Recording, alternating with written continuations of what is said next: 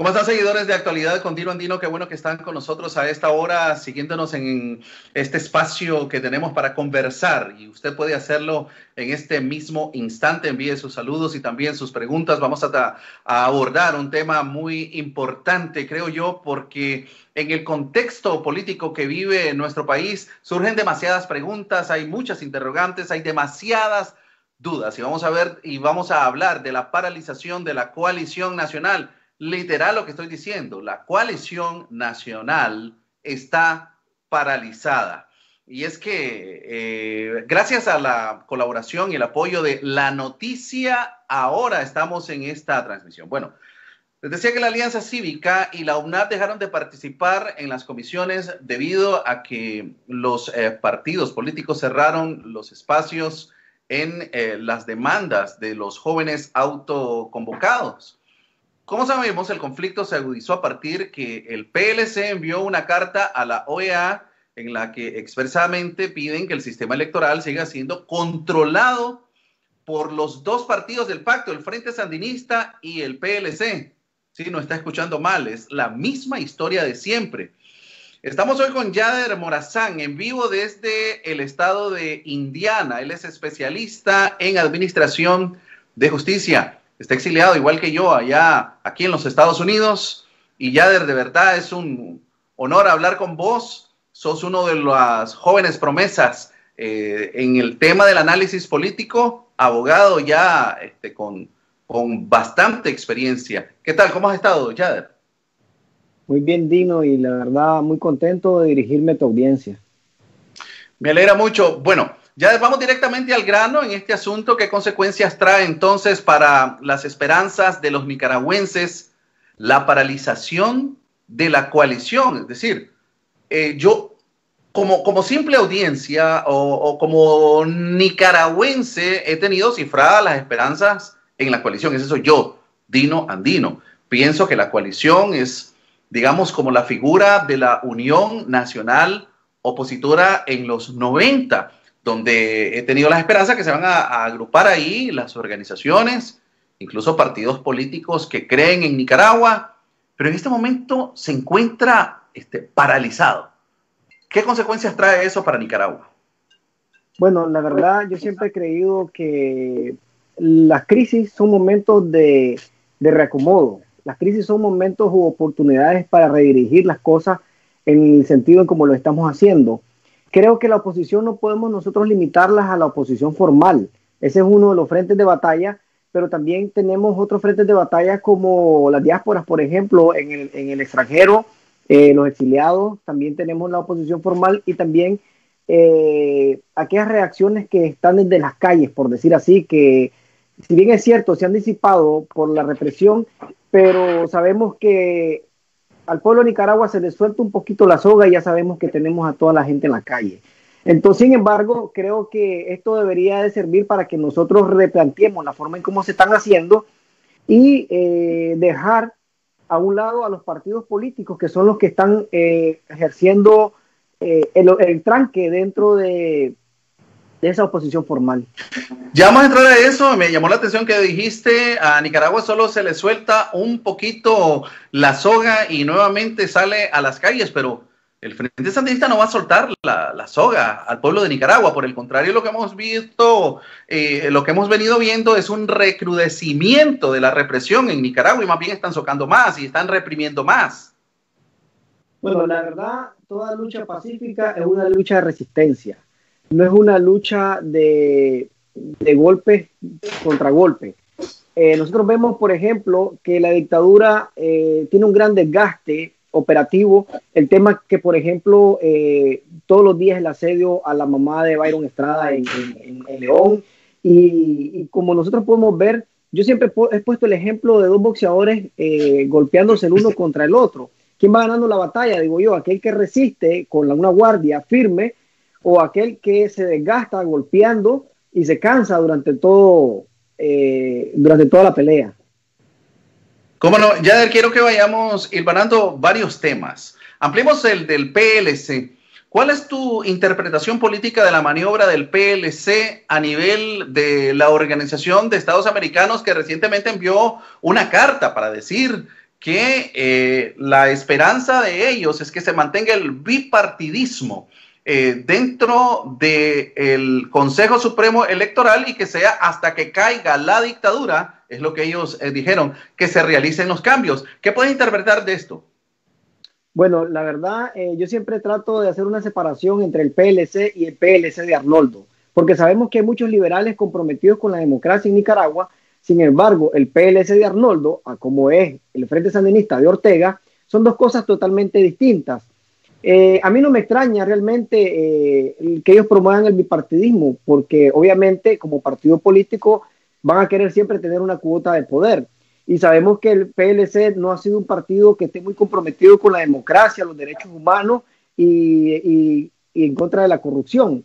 Todo lo contrario. Al día de hoy, por ejemplo, hay más de 250 funcionarios eh, de altos cargos dentro de, del Frente Sandinista operando dentro de las instituciones del Estado y, eso sin incluir a los diputados. Lo que quiere decir es que el pacto Daniel Ortega es un pacto que sigue totalmente vivo y no solamente se sustenta en un pacto de conveniencia, sino que también eh, no solamente son cómplices, sino que son cooperadores necesarios porque son parte de esa oposición funcional que es necesaria para todo régimen.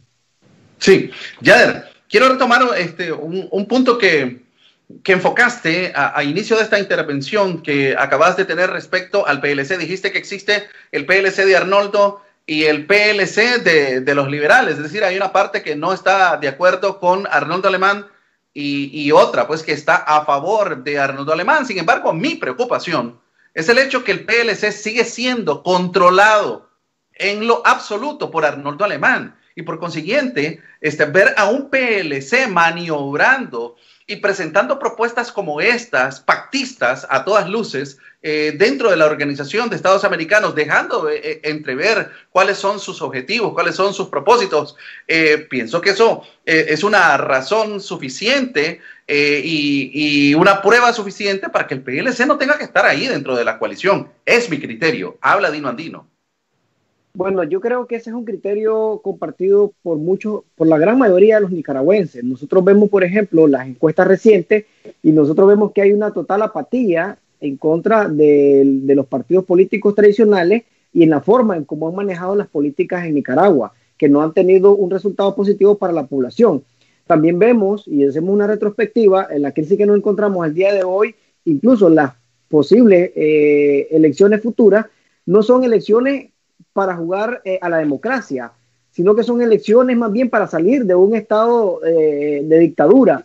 Y los partidos políticos no han, nosotros vemos las elecciones pasadas, los partidos políticos no han jugado ningún rol. Es decir, yo creo que eh, fue un paso errado en que la oposición formal incluyera a los partidos políticos tradicionales en, en igual balance con estas oposiciones que son las que realmente tienen la voz y voto dentro y fuera de, del país. Como ya vemos, por ejemplo, que Michael Cosat no fue con ellos, que se reunió. Por consiguiente, creo que, así como los nicaragüenses tenemos muy claro quién realmente ocupa la posición formal en Nicaragua, me parece a mí que el Departamento de Estado en Estados Unidos, incluso el Parlamento Europeo, también tienen mucha claridad en eso.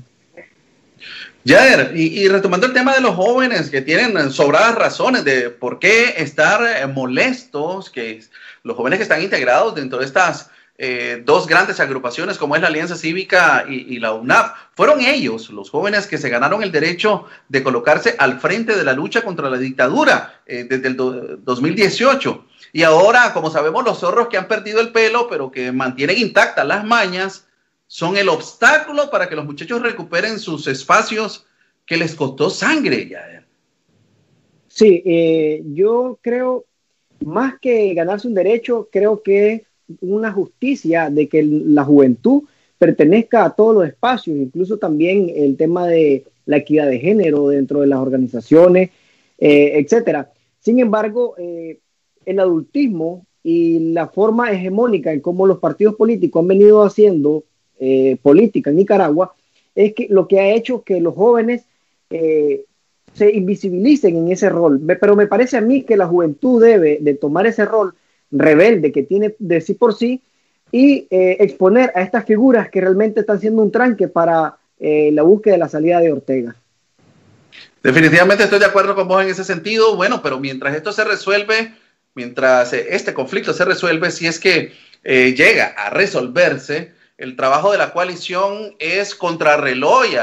Eh, las organizaciones territoriales o la organización territorial está paralizado debido a la suspensión de la participación en las comisiones de trabajo tanto de la Alianza Cívica como de la UNAP. Ambas organizaciones se resisten a continuar trabajando hasta que se resuelva el tema de los jóvenes. Y la pregunta es, ¿se debe o no pensar, Jader? Y, para mí esta, esta pregunta es clave. ¿Se debe o no pensar en elecciones en este momento? Mira, cuando en un partido de fútbol eh, el oponente está pagado por tu rival, está pagado por el mismo que está promoviendo el partido, el coach eh, también está pagado por ellos mismos, la barra está pagado por ellos y el árbitro también está como bastante claro de que el partido no lo vas a ganar. Entonces, eh, el problema en Nicaragua no es un asunto de, de, elecciones, incluso no es ni siquiera un asunto de reformas electorales, porque ninguna ley electoral manda a, que personas que estén, eh, que ya estén fallecidas o personas que estén en el extranjero otros puedan votar por ellos. No existe una disposición que aparezca, donde aparezca eso. Sin embargo, los resultados ya los hemos tenido a la vista. Eh, las elecciones funcionan en, en, países donde hay democracia, donde funcionan las institucionalidades, el Estado de Derecho.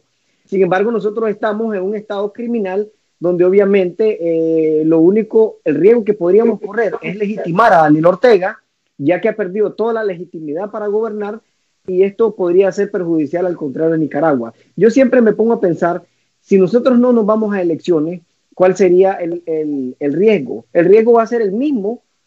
Todavía, eh, eh, si nosotros no vamos a elecciones, se va, Ortega no se va a legitimar. Eh, a nivel internacional va a quedar que es un fraude electoral, que no hay representatividad por parte de ese gobierno. Incluso si nos vamos a elecciones, Daniel Ortega controlando todo el sistema político, obviamente el resultado va a ser el mismo. Por consiguiente, por no sé si me voy a entender. Claro, completamente, Yadri. A mí me preocupa lo que estás diciendo porque eh, es la misma pregunta que me hago. Es decir, los, los movimientos sociales, la Alianza Cívica, la UNAP, la coalición está pensando en ir a elecciones y esta es la gran pregunta dentro de las mismas reglas de Daniel Ortega. Ayer me preocupaba también la, las, las declaraciones de Michael Cossack, eh, donde él decía, bueno, aquí lo ideal es que haya elecciones. Por supuesto, en este sentido, en un escenario de democracia, donde hay apertura, donde hay eh, libertad, donde hay observación electoral, pues eso es lo ideal dentro de un país, que hayan elecciones. Pero bajo las reglas mismas eh, desde el Frente Sandinista se están preparando estos organismos para ir a elecciones. ¿Cuál es tu apreciación este, acerca de eso? Mira, yo no los condeno porque obviamente ellos viven en países donde funcionan democracia y funcionan las instituciones. Eh, por otro lado, el rol de un político precisamente es eh, recomendar cosas que funcionan en los estados de derecho. Sin embargo, nosotros los nicaragüenses sabemos que las realidades son otras. Y fíjate que más preocupante que el tema de, ir a elecciones o no ir a elecciones es eh, las masacres que podrían provocarse en un, entorno de elecciones. Nosotros sabemos que para los entornos de elecciones siempre hay disputas, incluso hasta en las mismas familias nicaragüenses, en los, en los entornos de elecciones que son relativamente normales, en Nicaragua al menos, dentro de la poca normalidad que hay en Nicaragua. Sin embargo, en un escenario como el que nos encontramos ahora, donde por un lado depende la salida de Ortega y por otro lado depende eh, eh, el estatus de impunidad de mucha gente que se ha involucrado con crímenes de lesa humanidad, eh, es bastante preocupante realmente. Sí, eh, eh, es muy preocupante porque desde ya se comienzan a ver las señales de inseguridad, de amenaza. El mismo Frente Sandinista, a través de su liderazgo en las redes sociales, te empieza a decir, ¿y para qué vamos a ir a elecciones? Eh, lo que le vamos, incluso por ahí, hay, un documento que anda circulando que nosotros no publicamos porque no logramos corroborar, pero supuestamente dentro de, de este eh, documento, eh, lo que se está decidiendo es que no haya elecciones porque ellos no pueden permitir que, se le, que los golpistas le arrebaten el poder al, al comandante. Y estamos viendo ese, ese tipo de ataques eh, continuos al, al, Chele Grisby, que tiene este, una gran influencia dentro del partido sandinista, no con nosotros. El Chele Grisby, un, periodista de radio La Primerísima. Hemos visto también a, a este muchacho de apellido Baez de, de, León, que continuamente está atacando también a la iglesia. Todo parece ser una, una estrategia eh, dirigida a evitar que haya eh, un proceso electoral o este, sembrar el terror. Y dijiste también el miedo a que hayan este, más muertos. Ahora hay una, una amenaza en contra de una periodista, Calúa, este, en, en, en Radio La Costeñísima, ya en Bluefields. Eh, hay un ambiente de inseguridad terrible que ellos mismos est están provocando y promoviendo, Yader. Mira, el régimen hay que comprenderlo eh, de manera sistemática y seguir los patrones.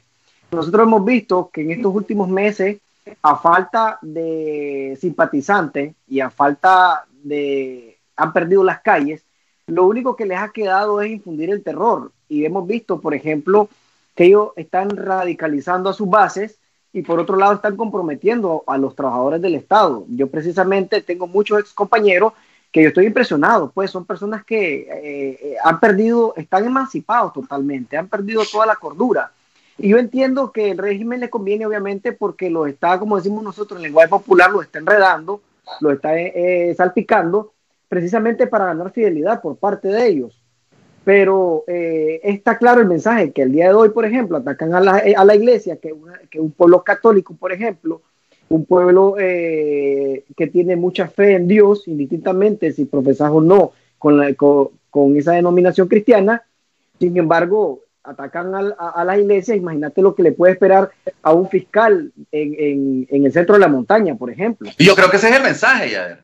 Ese es el mensaje. Es decir, si somos capaces de atacar y de matar o, o, de, o de destruir, como lo han venido haciendo, a los templos católicos, que es, digamos, uno de los aspectos más sensibles de la población nicaragüense, su religión, sus creencias, cuanto más, como vos acabas de decir ahorita, a un fiscal en un proceso electoral, ya. Así es, es que estamos, eh, mira, al frente hay que reconocerlo tal cual su naturaleza. Estamos frente a una organización criminal que utiliza las instituciones para legalizar sus crímenes, eh, facilitarlo y garantizar su impunidad. Si nosotros comprendemos a esa organización como un partido político, estamos equivocados. Eh, existen todos los elementos de que ellos son una organización criminal, incluso que realiza eh, actos de terrorismo en contra de una población desarmada. Completamente de acuerdo, Yader. Tengo aquí una pregunta de nuestros eh, seguidores. Ajax eh, Guevara, Dino, tengo una pregunta. ¿Quién eligió la coalición para que representara al pueblo de Nicaragua? Está, dice, más interesado en elección que mirar por los presos políticos. Eh, están más interesados en un pacto que en necesidades de nuestro pueblo. Nunca llegaremos a nada. Tu comentario a, a esta pregunta, o más bien un comentario que nos acaban de hacer. Bueno, la coalición eh, fue organizada precisamente a partir de, muchas organizaciones de la sociedad civil que pertenecían a la UNA y pertenecían a la Alianza y donde a través de eh, se organizaron precisamente para eh, hacerle un frente de lucha parecido a lo que vos mencionabas al inicio del programa como el Frente Unido Opositor. Esa es la idea de la coalición. Sin embargo, se encuentran pues unos impases precisamente porque han entrado en dinámicas de partidos políticos y no de organizaciones. Acuérdate que hay dos naturalezas que se repelan. Por un lado, las organizaciones la sociedad civil que están más concentrados en, la, en, en votar al régimen y en su gran mayoría aquellas organizaciones que alberga la UNAM, y por otro lado, los partidos políticos que obviamente lo que quieren son cuotas de poder. Aquí los partidos políticos en Nicaragua no compiten para ganar elecciones, porque ya saben cuáles son las reglas del juego. Los partidos políticos en Nicaragua siempre han competido para ganar cuotas de poder, tener, eh, mantener su personalidad jurídica y también poder pagar incluso las oficinas que donde y el personal a través de alguna o dos diputaciones que les pueda quedar. Bueno, tengo más eh, eh, lectura de aquí de mensajes de nuestros seguidores. Es importante que interactuemos con ellos. Eh, ya dice Mario Zambrano, no tienen unidad, solo son bochinches. Sin embargo, los sandinistas ya estamos unidos y listos para ratificar al comandante Daniel en la casilla 2. Yo le doy lectura a esto porque nosotros somos un medio de, comunicación abierto completamente. Aquí escribe un sandinista, eh, pero ¿qué, ¿qué lectura podemos sustraer de este comentario? Bueno, en las unidades hay diversidad. Precisamente un elemento de la democracia es la pluralidad. Sin embargo, el Frente Sandinista siempre ha sido eh, una organización, eh, una organización militar, precisamente nace con esa figura y tiene eh, a un dictador no solamente en el país, sino dentro de su propio partido, donde no hay elecciones primarias, donde no hay asambleas generales, no hay congreso, que incluso van en contra de los propios estatutos del mismo Frente Sandinista. Sin embargo, es un partido político familiar y, y quien se quiere engañar con eso, pues eh, está en todo su gusto. ¿Cómo no? Bueno, aquí tengo otro comentario Claro está lo más sensible, lo han tocado ustedes, no por los obispos, sino por los símbolos de la iglesia de cara a confrontar al pueblo con el FSLN, cosas que no les salió. El pueblo sabe que las alianzas y coaliciones terroristas de la ultraderecha somocista está compuesta de terroristas. Bueno, aquí hay otro, los jóvenes ya estamos dispuestos a un segundo levantamiento. Si no se dan elecciones, nos quedan las armas, dice alguien. ¿Qué pensamos de eso? Es decir, estamos para para armas, estamos, es decir, eh, ¿qué es lo que nos conviene en este momento como nicaragüenses? Mira, eh, entiendo la desesperación de la gente, sin embargo, eh, todos hemos coincidido en todos los espacios que la lucha debe ser pacífica. a mí me parece, incluso hasta me parece perverso, que muchas de estas organizaciones están apostando a que suceda algo parecido a lo de Bolivia. Sin embargo, sabemos que detrás de eso eh, tendría que haber de alguna manera eh, algún tipo de muertos, agresiones en contra de la población. Porque no creas, estas organizaciones políticas y estas organizaciones de la sociedad civil ingenuas no son.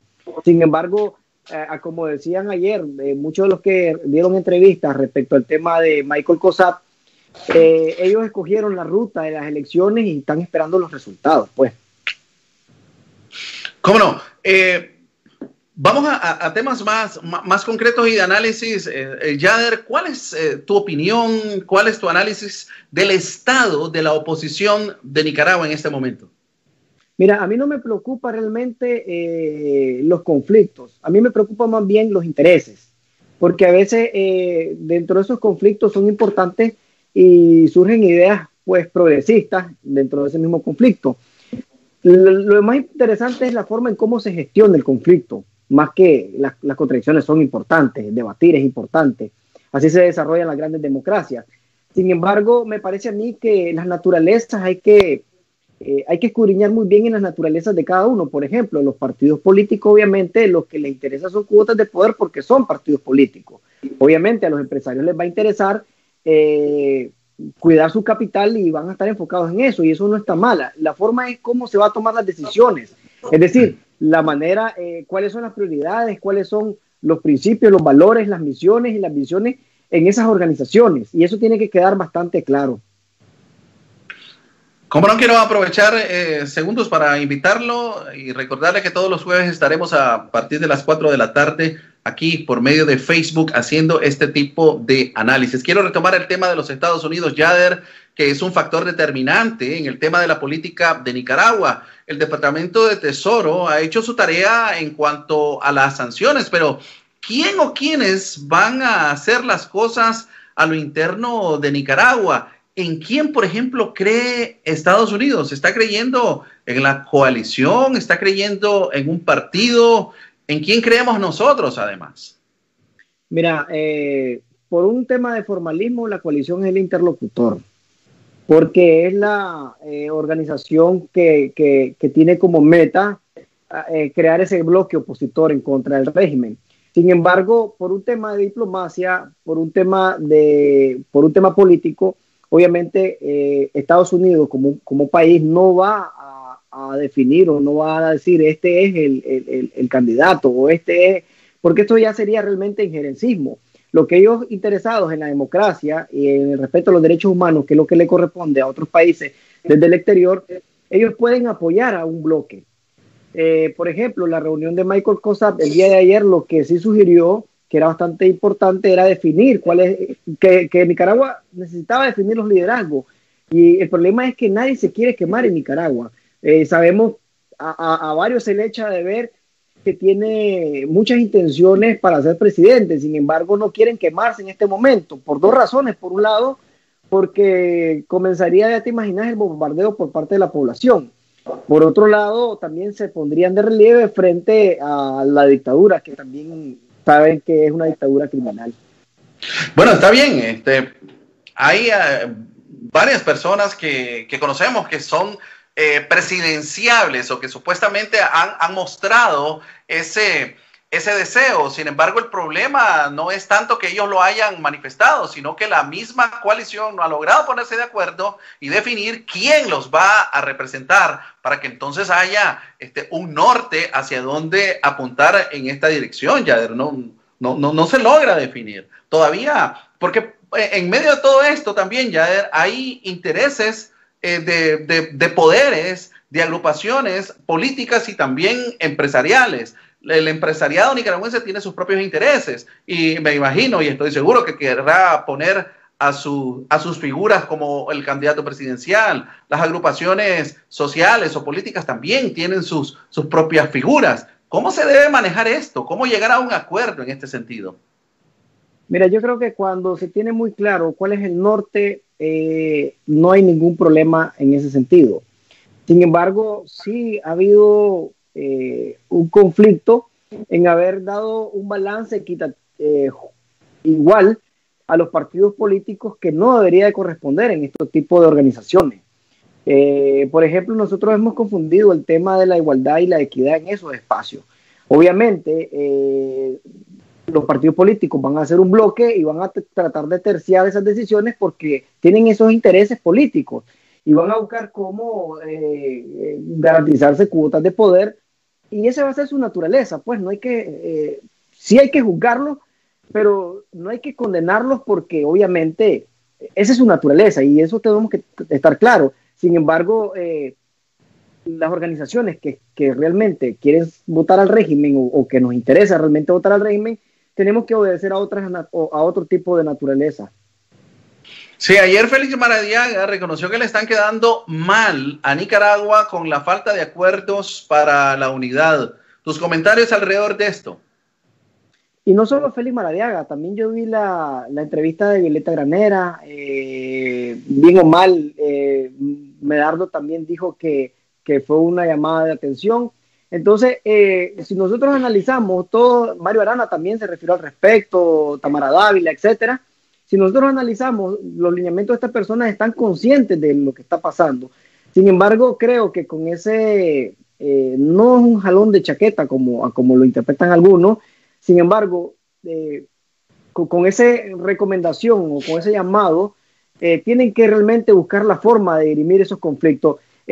Después de, de, de, lo de Michael Cosat, yo he visto que hay un consenso en expulsar a los partidos políticos. Casualmente hoy Bonifacio Miranda, eh, un abogado constitucionalista, iba a defender ese tema. Yo he visto que, que, ha venido pues calando mucho en la población y a mí me parece sano expulsar a los partidos políticos que estos no pueden quedarse con el mandado, son el vehículo y de alguna manera pues, se les podría reconocer eh, por prestar ese vehículo, pero no pueden ser ellos quienes conduzcan el destino ya de aquí hay aspectos que todavía no, no, no, no, no logro desenredar en, en, mi mente respecto a este ambiente preelectoral que se está suscitando en Nicaragua. Lo decimos así porque eh, el Frente Sandinista anunció que va a haber elecciones en el 2021. Me queda una enorme duda porque a estas alturas este, la gran coalición representada principalmente por estas dos grandes organizaciones, la Alianza Cívica y la UNAP,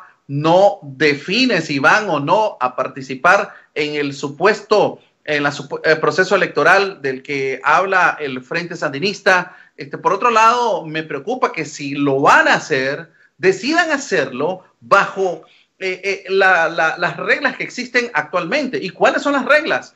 pues las mismas que han existido siempre. El Consejo Supremo Electoral está controlado por magistrados sandinistas. El Consejo Supremo Electoral es el mismo que cuenta los votos. La Corte Suprema de Justicia, si acaso interpones un recurso quejándote por los resultados electorales, son los mismos militantes sandinistas que van a ratificar en el poder a Daniel Ortega. Entonces, ¿Vale la pena ir a, elecciones? Y otra pregunta que me hago, ¿estamos a tiempo de, ir a elecciones? No se ve por ningún lado ninguna señal de que el Frente Sandinista esté interesado en realizar reformas dentro del partido para que nosotros como nicaragüenses eh, azul y blanco, que tenemos el sueño de que hay un cambio, se pueda establecer.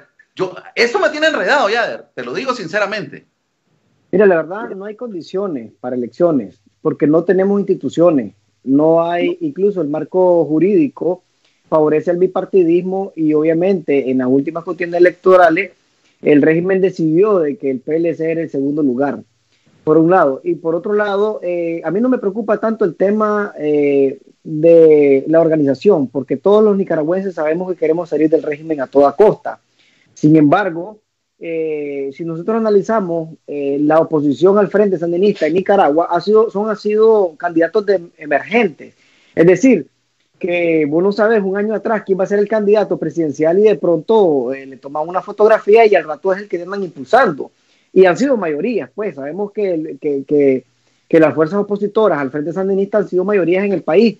Entonces esa parte, esa parte no me preocupa tanto como el tema de las condiciones para poder irnos a, a, unas elecciones justas, transparentes, observadas y, y, transparentes. Y transparentes. Claro, exacto, exacto. Entonces, yo, yo me doy cuenta en, a estas alturas del partido, es decir, en el punto en el que estamos hoy, en, en agosto del 2020, eh, eh, si decidimos participar en elecciones, pues vamos con los pies hinchados. Y cuando hablo de decidimos como pueblo de Nicaragua, vamos con los pies hinchados porque iríamos con las reglas eh, que, impuso la dictadura. Si decidimos no participar, pues igual, porque entonces si no participamos, el ganador es el actual. Si decidimos decir, no, aquí no hay ninguna, eh, no hay ninguna condición, este, porque evidentemente pues no se han realizado eh, reformas electorales, entonces lo mismo, sigue Daniel Ortega en el poder. Entonces, yo, yo, yo veo que aquí estamos en un impasse grave. Aquí mientras no definan seriamente como, como movimientos y como partidos políticos, las dos grandes agrupaciones también como la Alianza, la UNAP, la coalición, este, que eh, van a participar siempre y cuando hayan reformas electorales, yo no veo, yo no veo cómo, ¿Cómo podamos ir a elecciones bajo estas condiciones, ya No le veo yo. Con, una gran diferencia, Dino, que si nosotros no vamos a elecciones bajo estas condiciones en las que estamos, vamos a salvar a un montón de personas de caer en las garras de, estas personas que andan con sed de sangre, por un lado. Y por otro lado, vamos a dejar de legitimar al régimen y lo vamos a exponer de a manera internacional, no como, eh, como un gobierno, Sí, bueno, eso es lo, e, e, eso es lo que se espera. Este, por otro lado, y, y, esto vivo escuchándolo a cada rato, eh, una buena parte de la población ya está esperanzada en ver qué acción más agresiva puede hacer Estados Unidos a favor de Nicaragua. Eh, tal vez en un, consenso, en un consenso, la mayoría de la gente te dice, no, no es que estemos esperando que haya una intervención militar de los norteamericanos, ni la esperamos, ni lo queremos, ni lo necesitamos ni lo deseamos, no es lo que esperamos para Nicaragua. Hay gente que se atreve a decirlo, pero sí hay un consenso y, esto lo he podido ver, leer y escuchar eh, alrededor de que si Estados Unidos decide resolver el asunto con Venezuela, de igual manera tendría que desenredarse el tema con Nicaragua. ¿Qué opinión tenés al respecto? Mira, eh, casualmente ayer Michael Cosap dejó bastante claro que el asunto de Nicaragua es un asunto de los nicaragüenses. Y ese es un discurso que se ha venido reiterando por la comunidad internacional y los organismos internacionales. Eh, es decir, no está en manos de ellos, está en manos de nosotros los nicaragüenses. En el mundo hay muchísimas dictaduras y la comunidad internacional ha podido hacer muy poco por, por salir de esas dictaduras.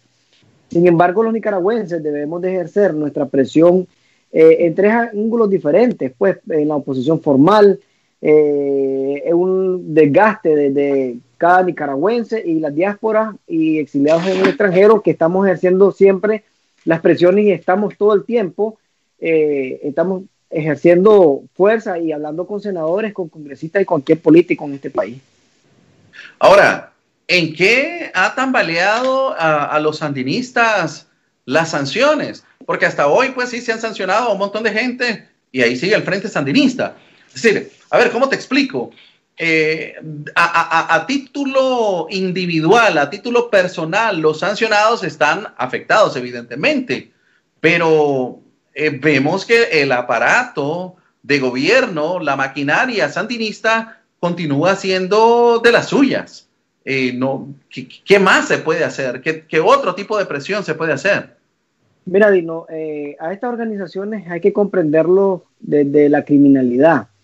No es en vano que a las organizaciones criminales se les incauta bienes, se les congela eh, dinero, eh, se les persigue eh, los activos y los bienes fijos, etcétera.